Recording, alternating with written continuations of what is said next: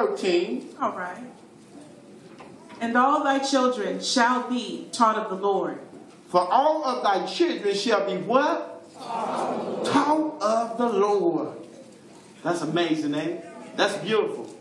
Can't you tell when children are taught of the Lord and when they're not? Even in church? Oh, God. Watch this. Read. And great shall be the peace of thy children. And great shall be the peace of thy children. And if thy children got peace, you get the parents' peace. It's not peace when you always get a phone call, you got to go down to a jail to check on your child. Well, amen likes anyhow. Read. In righteousness shalt thou be established. Uh-huh. Thou shalt be far And from in righteousness shall thy be established. You want a prosperous and a great life? Establish it in the righteousness of God. Get in right standard with God. And God will give you favor even with man. Oh God, watch this. Read. For thou shalt not fear, and from terror, for it shall not come near thee. Uh-huh.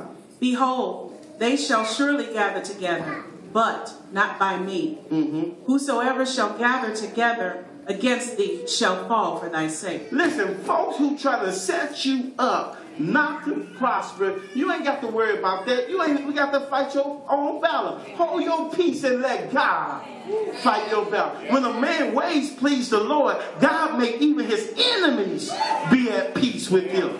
Oh, they come at you and they'll stumble and they'll fall.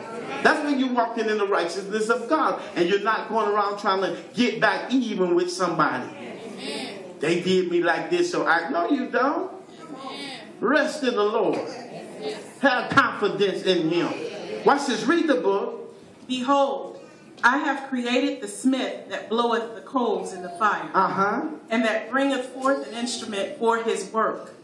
And I have created the waster to destroy. Whew, God. He sound like the Creator, don't he? Watch this. Read. No weapon that is formed against you. No weapon. It didn't say weapons won't be formed.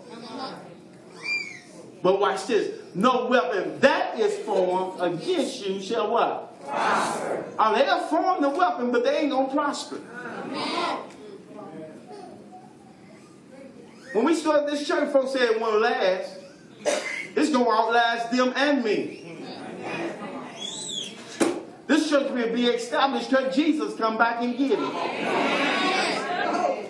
Because it built on him. Anything built on him will last. I am a God of eternity. Everlasting God. Creator of the ends of the earth. Oh God. Watch this now. Read. No weapon that is formed against thee shall, Shall prosper. and every what? tongue Read. that shall rise against thee in judgment thou shalt condemn. Uh-huh. This is the heritage of the servants of the Lord, and their righteousness is of me, saith the Lord. Ah, In other words, God say, you stay on my righteousness. I got your back. Oh, it don't mean you, you, you be seated, y'all. We going somewhere. I'm going to end this message. I see y'all getting restless. We, we, don't, we don't song you into a frenzy.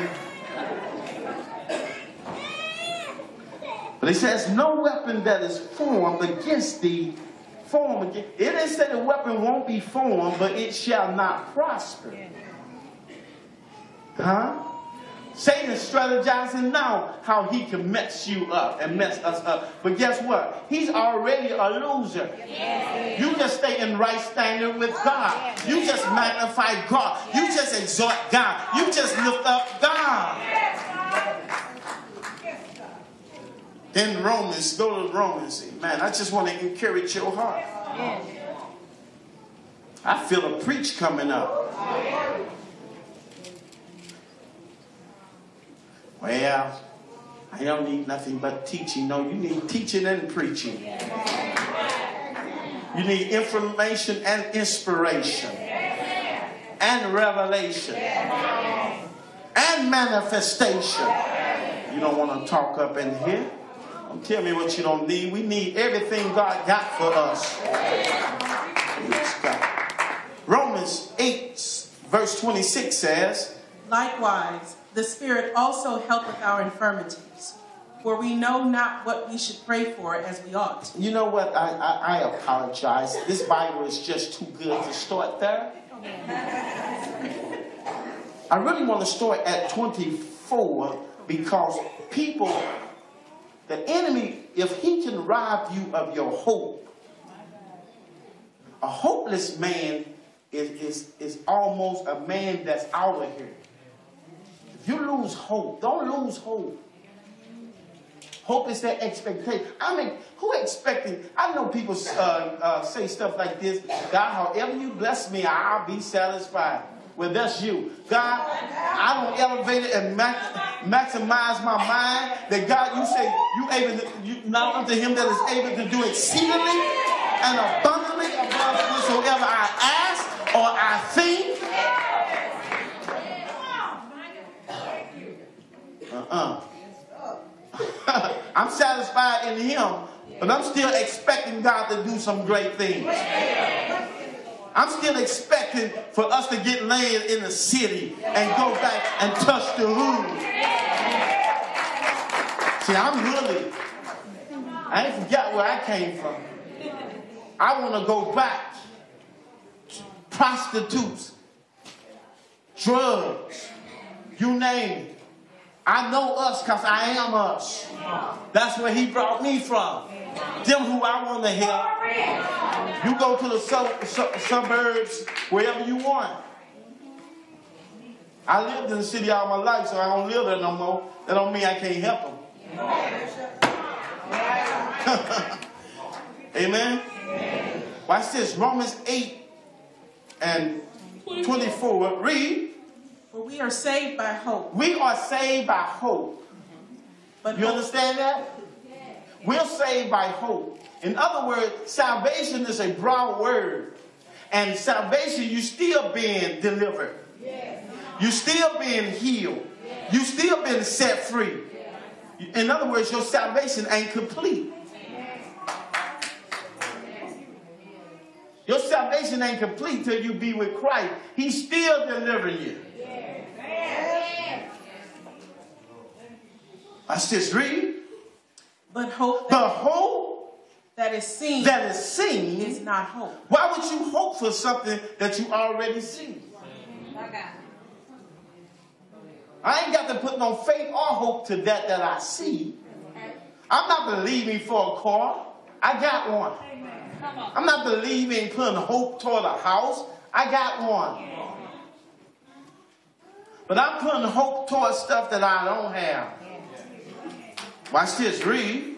For what a man seeth, why doth he hope yet for? Mm-hmm.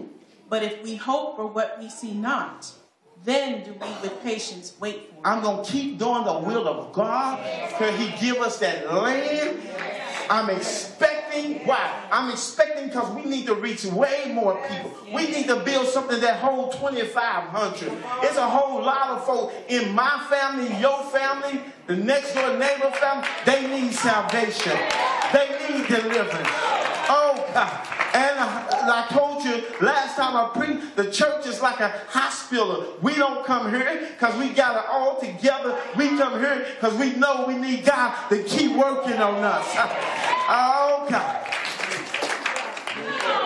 Watch this. Watch this. Read. Likewise, the Spirit also helpeth our infirmity. And we need help. And the Spirit of God is the one that helpeth our infirmities. The Spirit of God helpeth.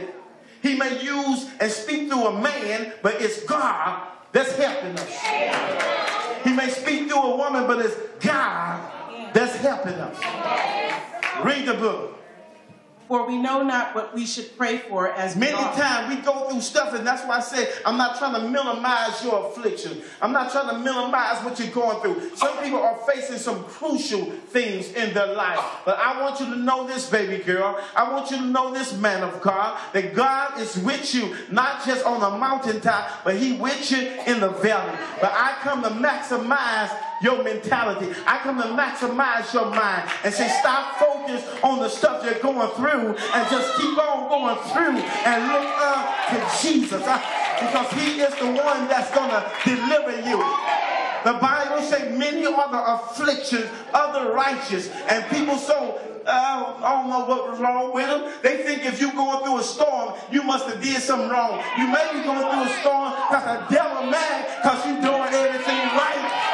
Uh, and he want to depress you. And he want to oppress you. But your mind is made up I'm not looking to me. I'm not looking to the preacher, but I'm looking unto Jesus. Oh, he's the author and the finisher of my faith. And I know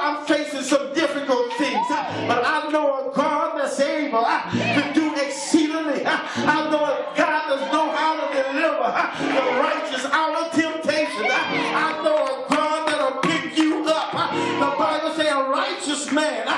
Fall seven